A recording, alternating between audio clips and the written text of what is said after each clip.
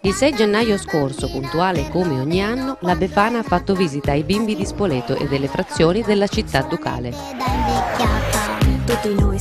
Significativo l'evento organizzato dalla piccola Colle del Marchese che nonostante le condizioni meteorologiche avverse è riuscita a vivere la magia dell'evento preparato nei minimi particolari. Comunque non si metta questa storia è molto strana Che fosse bella o brutta, molto alta o piccoletta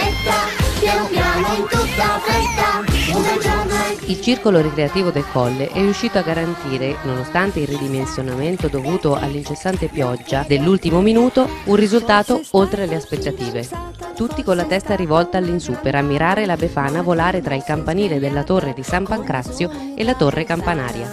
Guardandosi allo specchio che decise il suo destino, si infilò in un batter d'occhio nella cappa del camino. Primi tra tutti i bimbi del Colle che, non curanti della pioggia, hanno potuto assistere incantati allo spettacolo. bella Sarò dolce come il miele Ed allora vivo il mondo per cercare nuovi amici Per far ridere i bambini e vederli più felici La simpatica vecchina è poi scesa in piazza tra grandi e piccini con il suo carretto per distribuire giocattoli, dare l'avvio al rinfresco e ammirare insieme a tutti i presenti i fuochi d'artificio del Colle. Un applauso alla Befana!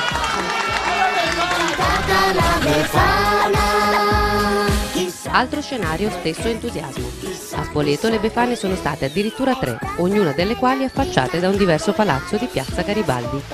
Da Sudafrica alla Cina Dalle Americhe all'Europa È stata proprio la piazza, infatti, ad accogliere i bambini con gonfiabili e costruzioni appositamente allestite nel primo pomeriggio fino al calar della notte, quando le vecchine sono apparse attirando tutta l'attenzione. Bisogna fare i bravi o finisce che altrimenti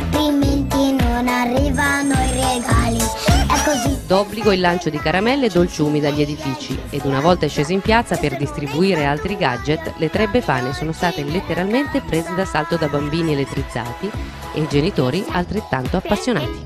Chissà, chissà perché.